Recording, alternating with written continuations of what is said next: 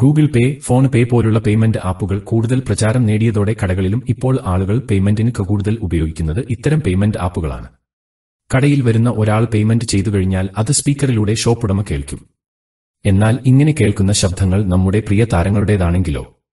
അതേ ഇനി മുതൽ ഈ ശബ്ദം പ്രിയതാരങ്ങളുടേതായിരിക്കും ഇപ്പോൾ ഇങ്ങനെ ഒരു മാറ്റം കൊണ്ടുവന്നിരിക്കുന്നത് ഫോൺപേയാണ് കേരളത്തിലെ ഫോൺപേയുടെ ശബ്ദം മമ്മൂട്ടിയുടേതാണ്. മുന്നൂറ്റി തൊണ്ണൂറ്റിനാല് രൂപ ഫോൺ പേയിൽ ക്രെഡിറ്റ് ആയിട്ടുണ്ട്. നന്ദിയുണ്ടേ. മമ്മൂട്ടിക്ക് പുറമെ ഹിന്ദി കന്നഡ തമിഴ് ഭാഷകളിൽ മഹേഷ് ബാബു കിച്ചസുദീപ് അമിതാഭ് ബച്ചൻ എന്നിവരുടെ ശബ്ദവും ഫോൺപേയിലുണ്ട് മമ്മൂട്ടിയുടെ പുതിയ ചിത്രമായ ഭ്രമയുഗം ഗംഭീര പ്രകടനവുമായി ഇപ്പോഴും തിയേറ്ററുകളിൽ നിറഞ്ഞാടുകയാണ്. ചിത്രം മികച്ച പ്രേക്ഷക നിരൂപ പ്രശംസകൾ നേടി. കൊടുമണ് പോറ്റി എന്ന കഥാപാത്രത്തെ പ്രേക്ഷകർ ഇരുകയും നീട്ടിയാണ് സ്വീകരിച്ചത്. ചിത്രം ഇപ്പോൾ തന്നെ നാൽപ്പത് കോടിയോളം കളക്ഷൻ നേടി.